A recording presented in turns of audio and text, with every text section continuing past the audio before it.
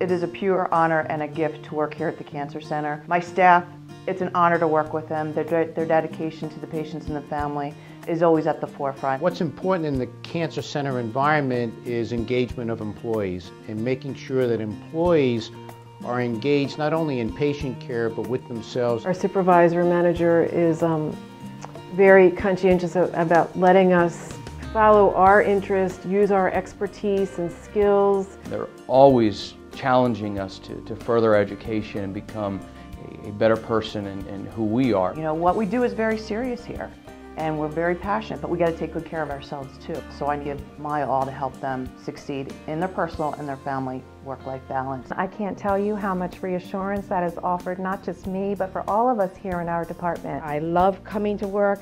I love the people that I work with. I have learned that they are my family. So this is like my home away from home. I tell a lot of, of my friends and family when they have to go to work, I get to go to work. I tell everybody at Christiana, I want to have the best department at Christiana, and I do.